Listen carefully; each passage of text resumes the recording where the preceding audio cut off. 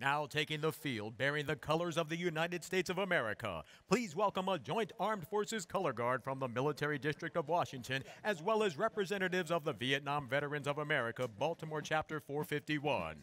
At the conclusion of the national anthem, we welcome a flyover of a MC-13J Commando 2 from the 415th Special Operations Squadron based at Kirtland Air Force Base.